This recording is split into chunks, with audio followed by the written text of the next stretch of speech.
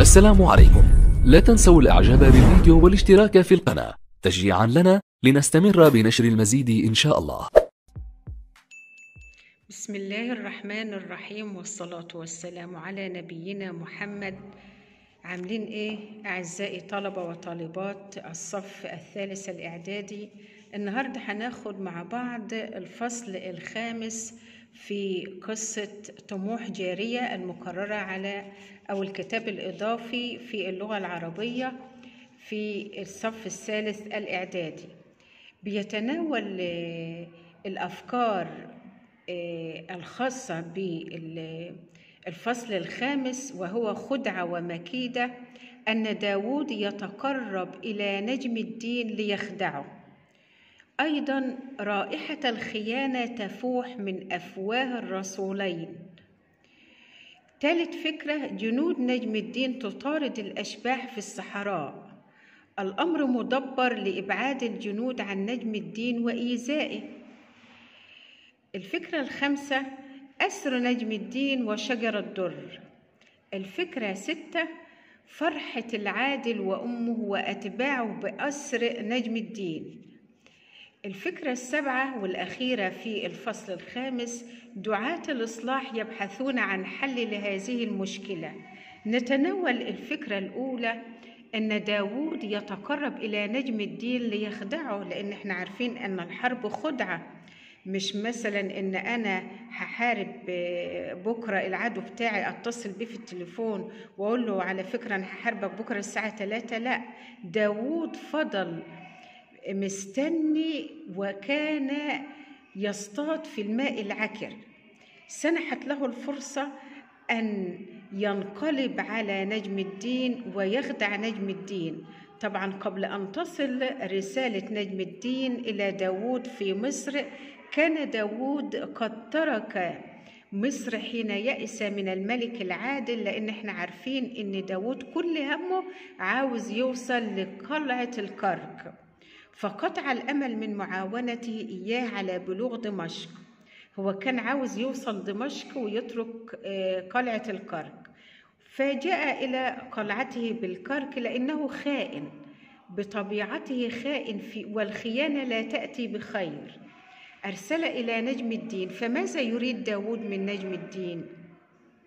وبينما نجم الدين يفكر في حاله ويتدبر موقفه إذا بعماد الدين ابن موسك وسنكر الحلبي يأتيان نابلس ويستأذنان عليه ويسلمان قائلين في تبجيل يعني في تعظيم السلام على مولانا المعظم سلطان مصر والشام ومنقذ العرب ومحطم الفرنج وأمل هذه الأمة ورجائها.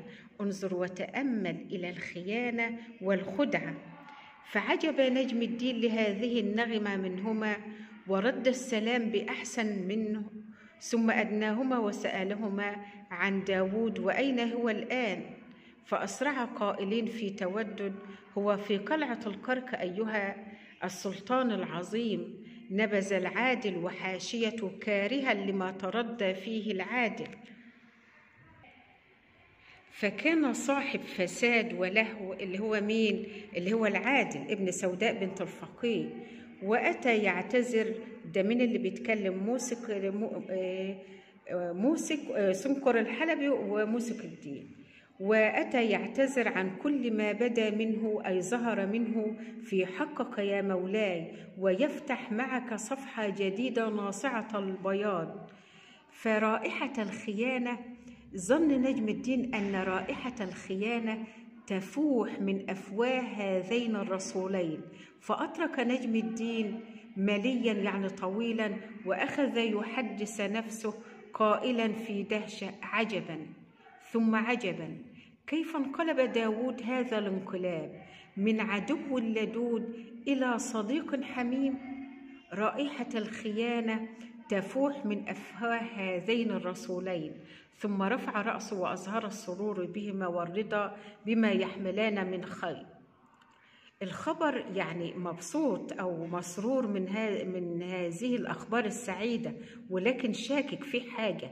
وعندما رأى في أعينهما الرغبة في الإقامة عنده أياما أمر لهما بخيمة فسيحة وقرى واسع يعني طعام كتير.